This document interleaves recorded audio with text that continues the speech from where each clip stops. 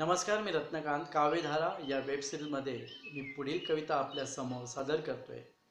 कवितेचं शीर्षक आहे आठवांचा बहर कवयित्री आहेत सौ जयश्री हेमंत कविमंडळ घेऊनी आठवांचा बहर आली माहेरची सुगंधी लहर.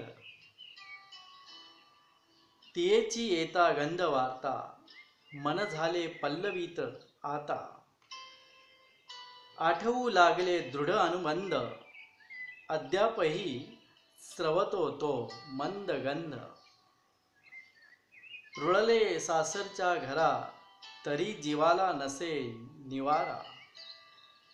त्या सुगंधित लहरी संगे मन निघाले पंख पसरुनी वेगे.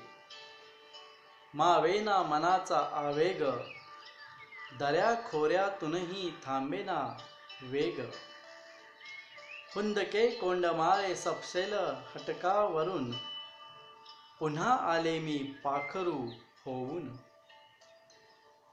अनुभवला माहेरी उत्सव अनोखा. शाब्दांकित न करे त्याची त्यासी देखा.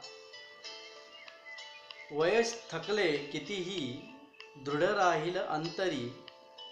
स्मृती कलशाची ती नाळ गहिरी. आनंदाश्रूंच्या सवे सेवट गोड होई. आतल्या पाखराला थोडी मिळे उतराई. आतल्या पाखराला थोडी मिळे उतराई. वा!